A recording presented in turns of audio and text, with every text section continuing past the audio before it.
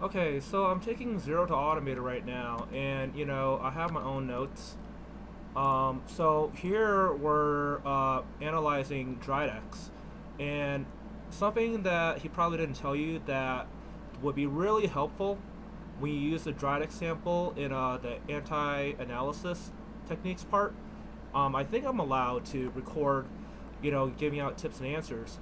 So Dridex is uh, using a special packer and a compressed um, executable, right?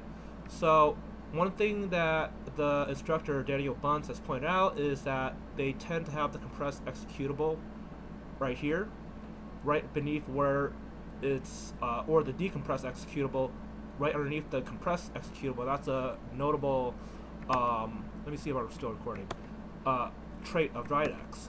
So one trick I learned is what you want to do, and let me try this again. So what I do when I look at a sample, and this is the original um, sample, right, is I use dumpbin imports dridex.dll, the DLL that he gave me, and what I do is I go through certain things like uh, Device input output control is very useful. Get module file name A. Um, let's see. Get module handle wide. Get module handle wide means that you open a DLL to extract a single function, and get proc address extracts the function out of a DLL. So I usually put like debug uh, debugger breakpoints on them, including debugger checks, like is debugger present. So I solved this, um, and I thought maybe I'll just give out a tip. Um, so, to better clarify and make this course easier.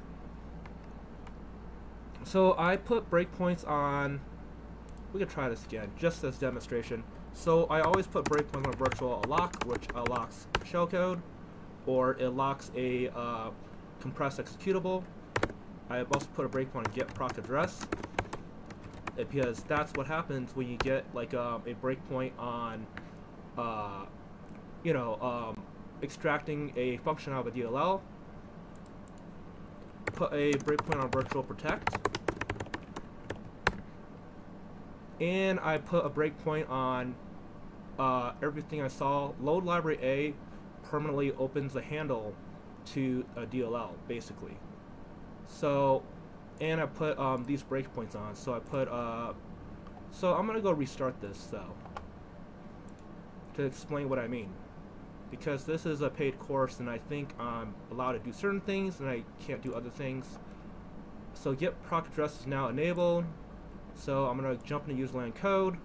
But before we get into userland code, we open a get module handle wide and look right here, it's kernel32.dll. Alright, because Almost all executables import kernel32.dll, so you can't get to the userland code until you import it. So press it again. Again. Uh, let's just keep pressing get proc address. So when you restart a binary and you have a breakpoint, you want to remove the breakpoint to get proc address because it's just importing functions from kernel32.dll. Let's just keep going. So now we open uh, get module handle wide. I don't have DLL breakpoints, by the way. Get module handle wide. So we're opening more DLLs. And let's just keep going until we get into userland code. So address of entry point. So now I disabled get proc address.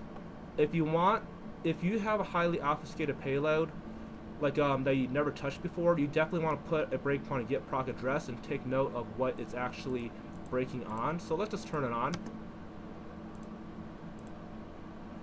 And it's getting get proc address from kernel uh, base DLL initialize critical section extended. So I'm going to just remove this breakpoint because I already figured out how to unpack this. But for new malware, you definitely want to put a breakpoint and get address to see what kind of obfuscated functions that you may have never seen before. So now it's getting another module handle to kernel32.dll. Let's keep going. And it's going to take a while. Um, before we get to virtual alloc. Come on. Okay, so we're on virtual protect. Virtual protect, the first argument uh, of the stack pointer offset is um, what it's setting protection settings on. It's setting it to executable or hex 40 right here. So you right click, follow and dump. And it's probably shellcode. For this Dridex sample, it appears to execute shellcode and then it um, runs virtual alloc multiple times. So now we're on our first virtual alloc call. So what you want to do is click on this button right here to execute to return. And the return address is actually where it's allocating the decompressed executable. So you press this again, and it's virtual alloc again. So I would execute to a return. EAX contains the return address, follow and dump, execute again, we hit virtual alloc again, I selected dump 3, execute return, follow and dump, and we're going to hit virtual protect again, but notice that dump 3, the last virtual alloc, we have a compressed executable right here. So let's see if that command does well.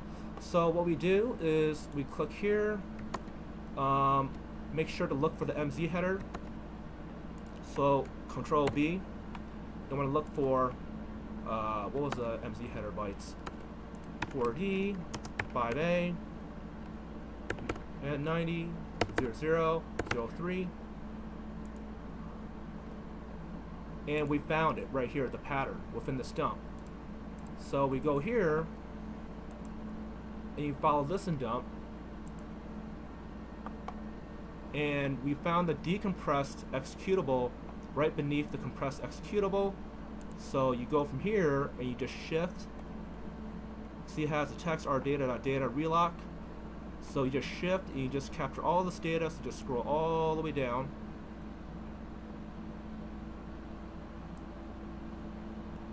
Uh, let me see. Scroll all the way down.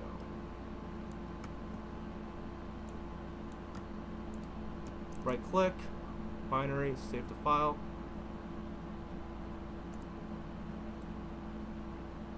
And desktop,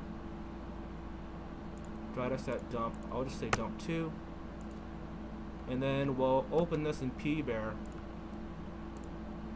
and see if we uh, have the same file effectively. Because we can check the hashes or we can just um, let's see, where's dump 2? So it should have imports two functions from kernel32.dll, output debug string and sleep, and two exports DLL register server. So that's just a tip on how to do um, the uh, memory dumping for decompressed executables because once we go back to the source, control B, um, I noticed this has been a little bit tricky, so what I do is I just look for a decompressed, evidence of a decompressed um, MZ header beneath the section, let's see, what was it, 900003. And you see if you look at the address, you can follow and dump, the last step that we had before started calling virtual protect to change the execution settings is right underneath the compressed executable, which is right here. So that's just like a cool tip that I wanted to share.